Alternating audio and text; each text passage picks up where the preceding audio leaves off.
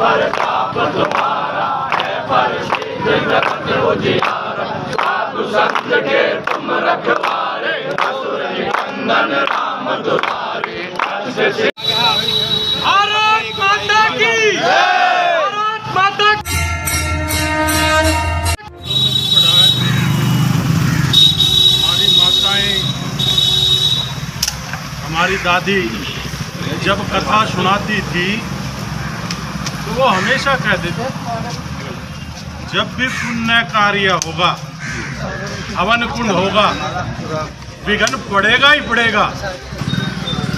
पर जब हमारे निष्ठा में पूर्णता होगी, विघन हट जाएगा। तो ये एक छोटा सा विघ्न पड़ा जो नहीं था। हमें भी लगा विघन पड़ रहा है, और आपको भी लगा विघन पड़ रहा है।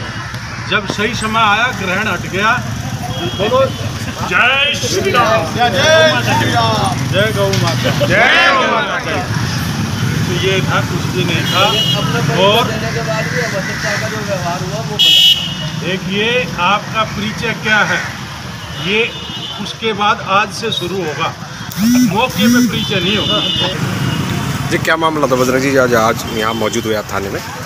मामला ये था जी कि परसों रात, पंद्रह तारीख की रात को करीब पौने दो बजे मेरे को सूचना मिलती है कि सड़कों में गाय भरकर गोकशी के लिए लेके जा रहे हैं, कसाई। सूचना मिलते ही मेरी टीम और मैं मौके पे पहुँचते हैं। हम तब मौके पे पहुँचे रात को दो बजे। और हमने देखा कि तीन से चार गाड़ियाँ, टाटा चार सौ गाड़ी से भरी हुई हैं, उनको लेके जाया जा रहा है। तो जाते ही हमने उनको रोका। जब हमने रोका तो देखा उस पर स्टाफ के लोग बैठे थे, पुलिस स्टाफ। तो हमने उनसे जानकारी लेना चाहिए कि, सर, ये जो गाय जा रही हैं, आप बैठे हैं इसके अंदर। हमें सूचना कुछ और मिली थी और आपको देख के हमें लग रहा है कि कुछ और गलतफहमी है। तो हमें बताया जाए गाय कहाँ से ला रहे हैं और कहाँ लेके जा रहे हैं आप लोग। भाई, हमें क्या पता? गलत लोग भी तो हो सकते हैं। तो उन्होंने हमें कोई जवाब नहीं दिया। कह रहे कि हम थाने लेके जा रहे हैं। हमने कहा, जी, ठीक है, आप थाने लेके चलो, हम आपके साथ चलेंगे।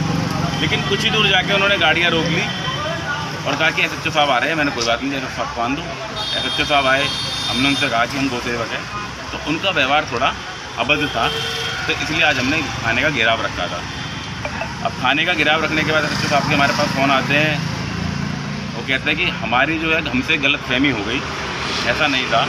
फिर उन्होंने पूरा वाक्य बताया कि ऐसे ऐसे हमने छापा मारा था गो तस्करों से मुठभेड़ में उन्हें पकड़ा गया है।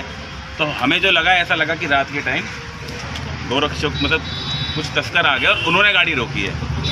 तो जो कंफ्यूजन थी आज हम यहाँ आके हमने आपस में बैठ के तय मतलब सॉल्व हो गई है गलत फहमी हमारी दूर हो गई है। और इसलिए जो हमारे एस साहब ने एक कार्रवाई की है वो एक बहुत अच्छी कार्रवाई है बहुत अच्छी पहल है। उसके लिए हमने एसएसपी साहब को बहुत बहुत धन्यवाद। ठीक।